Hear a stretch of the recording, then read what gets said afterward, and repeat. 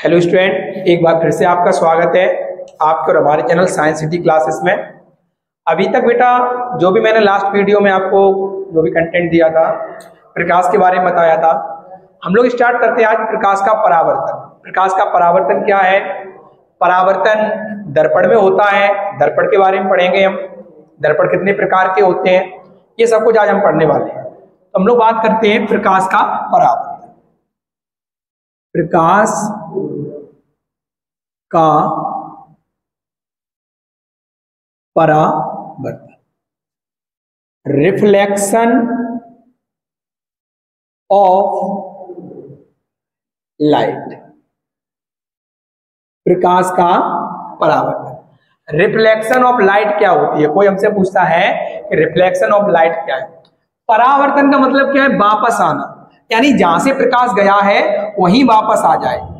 उसकी side change हो जाएगी, लेकिन जिस माध्यम से गया है, उसी माध्यम में। मतलब कहने का है, प्रकाश के परावर्तन के लिए सिर्फ़ एक माध्यम की आवश्यकता होगी। जिस माध्यम से गया है, वापस उसी माध्यम में आएगा। तो इसकी डेफिनेशन की बात करें तो इसमें बताते हैं जब कोई प्रकाश की किरण किसी माध्यम से किसी चिकनी अपारदर्शी, क्योंकि परावर्तन तभी होगा जब किरण जाएगी और जाने के बाद वापस आ जाएगी।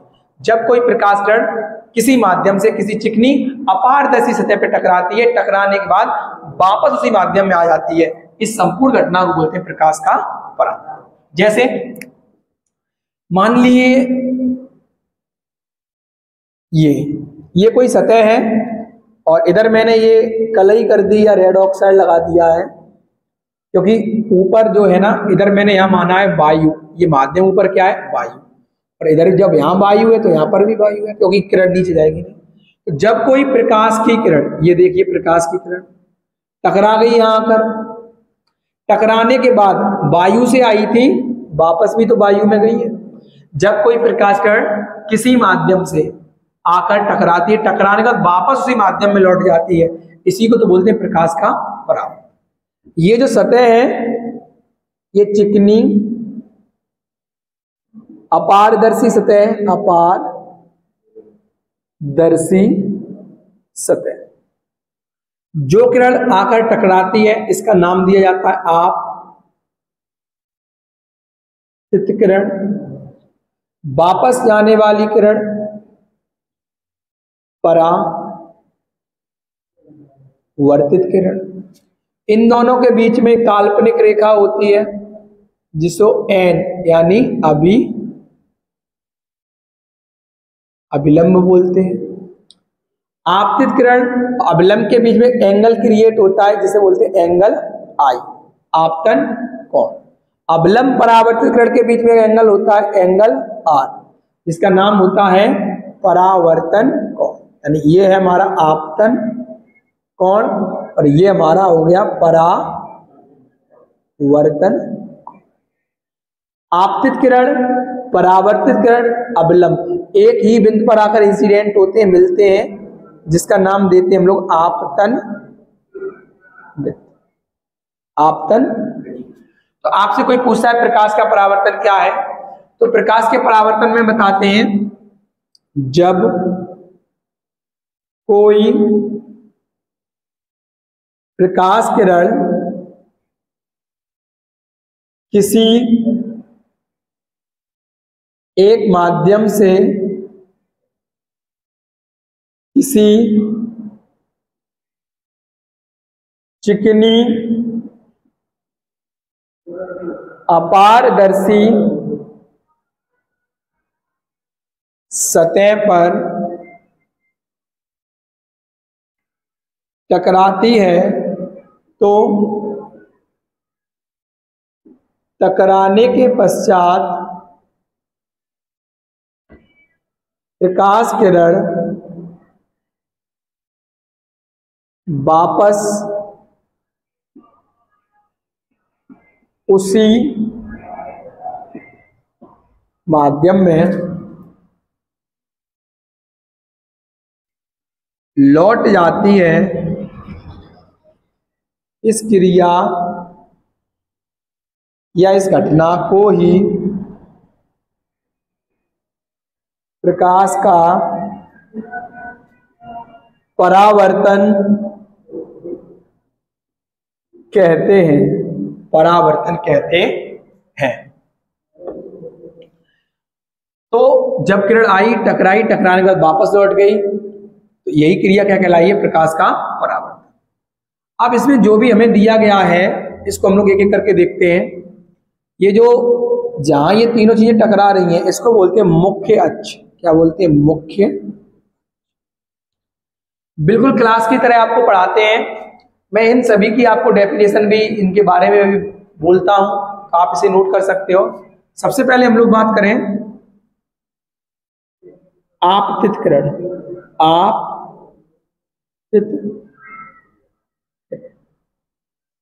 आप लोग लिख सकते हो बिल्कुल कि आपतितकरण क्या होता है जब कोई प्रकाश किरण माध्यम से आकर सतह पे टकराती है। इस किरण को आपतित किरण कहते हैं। दूसरी,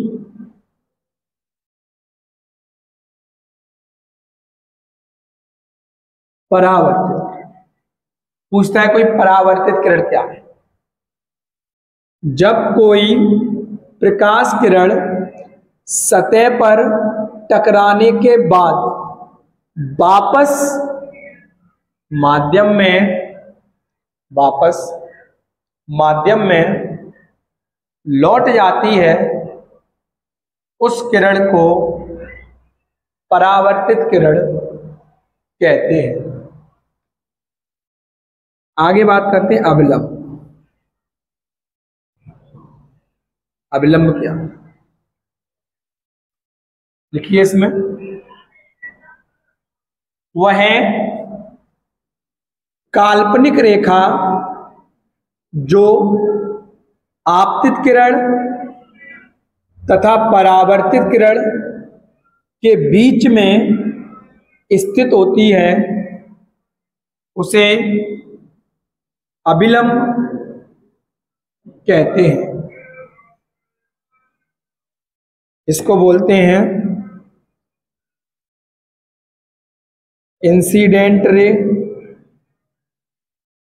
ये है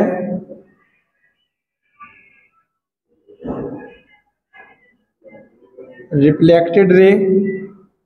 इसको बोलते हैं नॉर्मल इसके बाद बात करते हैं आपतन बिंदु। आपतन बिंदु इंसिडेंस पॉइंट लिखिए इसमें, आपतन बिंदु। वह बिंदु वह बिंदु जिस पर आपतित किरण, परावर्तित किरण और अवलंब, तीनों एकत्रित, तीनों एकत्रित होते हैं उस बिंदु को आपतन बिंदु कहते हैं। बात करें अब आपतन कोण।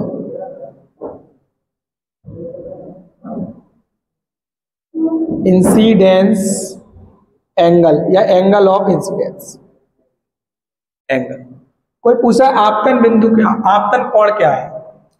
वह कोण जो आपतित किरण और अवलंब के बीच में बनता है।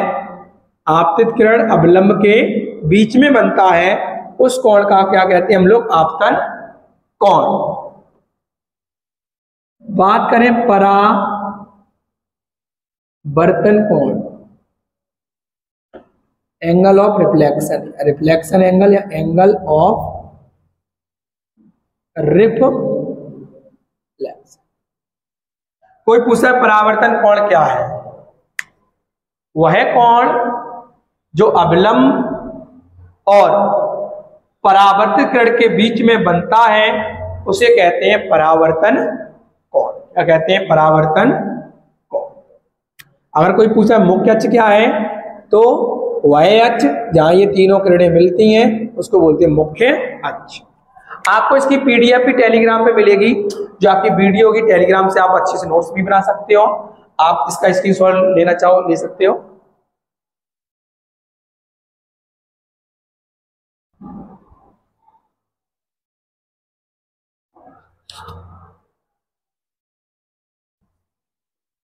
आगे देखते हैं, परावर्तन के नियम। परावर्तन के दो नियम है, कौन से ही देखते हैं।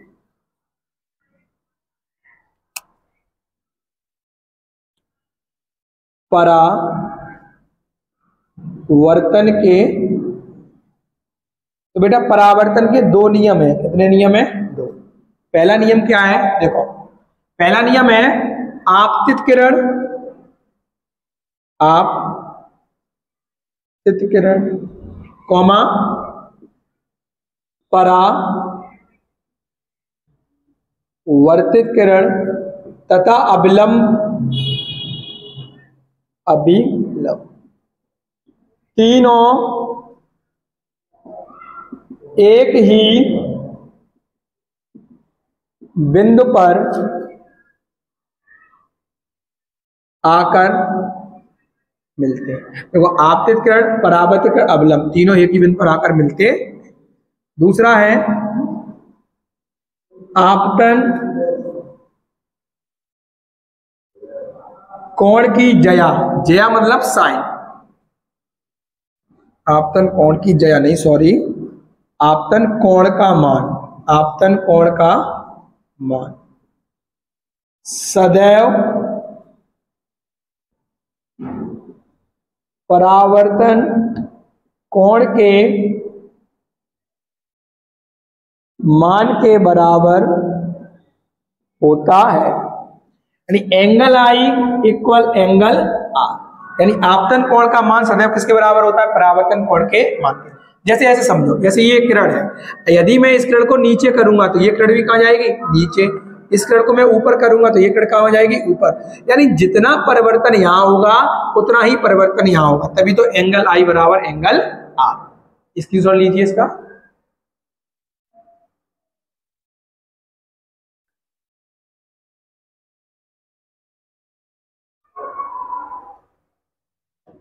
अब बात करते परावर्तन होता किसमें है? तो परावर्तन दर्पण में होता है। दर्पण तो सभी लोग जानते हो गए सब जानते होंगे दर्पण तो? एकदम कहीं पार्टी वगैरह हम जाते होंगे। सबसे पहले किसे देखते होंगे? दर्पण। अपने भाई फेस देखना है, हमें अच्छा लगना है। बहुत जाके अच्छा लगना है, स्मार्ट लगना है ना? स्मार्ट नहीं, हैंडसम लगना है ना? कहता नहीं, एक एडवर्टाइजमेंट रणवीर सिंह कहते हैं कि लड़का स्मार्ट नहीं हैंडसम होना चाहिए। अच्छा। देखिए। अब बात करते हैं दर्पण के बारे में। दर्पण क्या है? मिरर क्या है? मिरर कोई हमसे पूछा है, दर्पण क्या है? मिरर क्या है? दर्पण एक बेटा, कांच ही मानो, जिसकी एक परत पर हम रेड ऑक्साइड की कलई कर देते हैं। दूसरी परत को परावर्तक पृष्ठ के रूप में प्रयोग में लाते हैं। उस युक्ति को हम लोग कहते हैं दर्पण। यानी कोई पूछा दर्पण क्या है? तो वह युक्ति वह युक्ति जो कांच की होती है, जिसके एक पृष्ठ पर रेड ऑक्साइड की कलई तथा दूसरे पृष्ठ पर, दूसरे पृष्ठ को परावर्तक के रूप में प्रयोग करते हैं, उसे दर्पण कहते हैं। दर्पण दो प्रकार के हैं बेटा। एक है गोलीय दर्पण और दूसरा होता है समतल दर्पण। तो पहले बात करें हम लोग गोलीय दर्पण की। गोलीय दर्पण क्या है? स्फेरिकल मिरर कोई पूछता है गोलीय दर्पण क्या है? स्फेरिकल मिरर क्या है? तो यानी वह कांच जो होगा, वो गोल कांच होगा और उस गोल कांच को गोलीय दर्पण कहते हैं। जैसे मानो ये कोई कांच है, गोल कांच है। इसको मैंने अलग अलग भागों में ये तरह से काट दिया है। इस तरह से ये ये। राइट साइड में मैंने कलई कर दी है ये, राइट साइड में।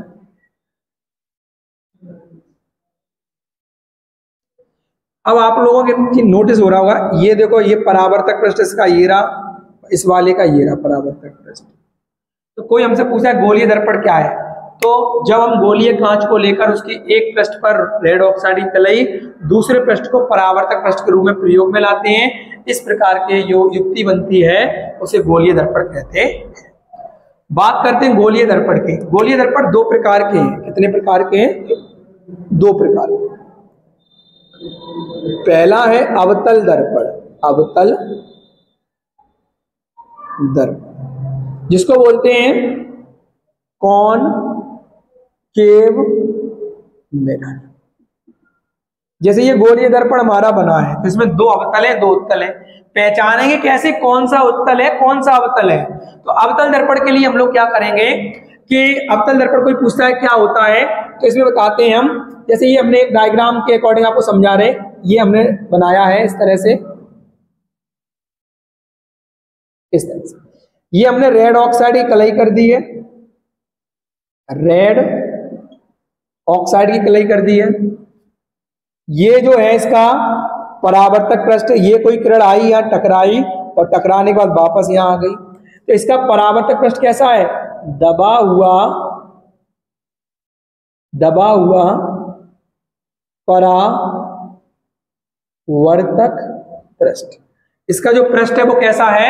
दबा हुआ परावर्तक पृष्ठ है। तो कोई पूछता है अवतल दर्पण तो आप इसकी डायग्राम के नीचे इसकी डेफिनेशन लिखिए। वह दर्पण जिसका परावर्तक पृष्ठ दबा हुआ होता है, अर्थात जिसमें प्रकाश का परावर्तन दबे हुए भाग से होता है। उस दर्पण को अवतल दर्पण कहते हैं। अवतल दर्पण कहते हैं। यानी परावर्तक पृष्ठ कैसा है? दबा हुआ। अब बात करते हैं अवतल दर्पण के उपयोग। देखो, पहला उपयोग क्या है? हमेशा याद रखना, जब भी किसी छोटी वस्तु का बड़ा प्रतिबिंब बनाना हो, जैसे हम लोग डॉक्टर्स वगैरह के पास जाते हैं, नाक, कान, गले के तो वो लोग देखते हैं अंदर क्या है, क्या नहीं है तो पहला उपयोग है, लिखिए, अवतल दर्पण का उपयोग, अवतल दर्पण का उपयोग किसी छोटी वस्तु का, छोटी वस्तु का बड़ा प्रतिबिंब बड़ा प्रतिबिंब बनाने के लिए किया जाता है। किया जाता दूसरा लिखिए, हम लोगों ने जो हेडलाइट्स देखी हैं, यानी जो गाड़ी वगैरह में जो हेडलाइट्स होती हैं, उधर भी किसका यूज़ करते हैं? अवतल दर्पण। तो लिखो दूसरा पॉइंट अवतल दर्पण का प्रयोग का प्रयोग गाड़ियों में गाड़ियों में, अग्रदीप, आगे की हेडलाइट्स अग्रदीपों के लिए किया जाता है। तो ये अवतल, देखो कौन केव केव माने क्या होती है मानो गुफा, और गुफा अंदर की ओर होती है तो इसका परावर्तक पृष्ठ कहाँ है? अंदर की ओर। कहाँ पर है ये? अंदर की ओर। इसी को बोलते हैं अवतल दर्पण बात करते हैं इसके बाद। इसी का पार्ट गोलीय दर्पण का नंबर दो। उत्तल दर्पण। कॉन्वेक्स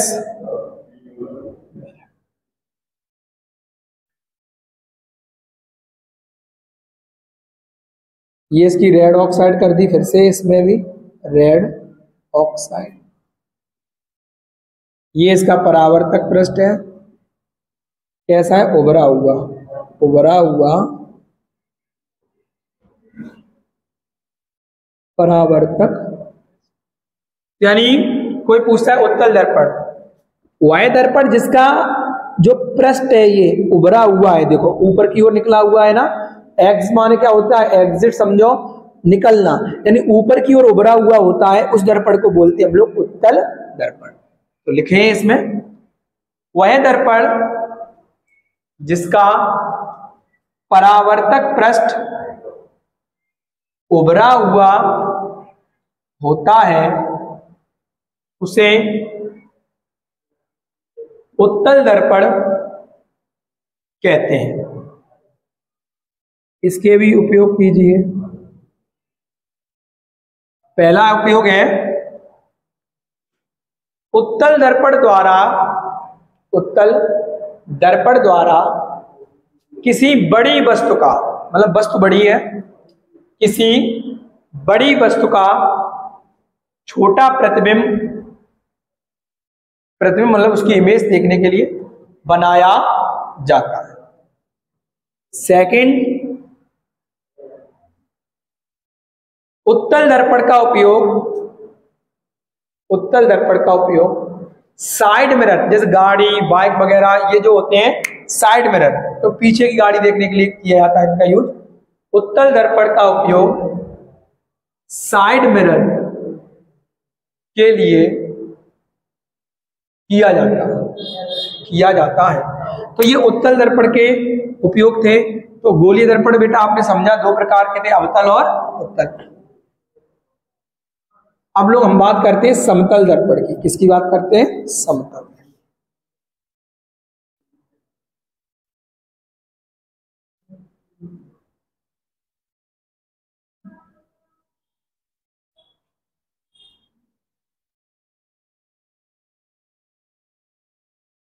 समतल। Plane mirror.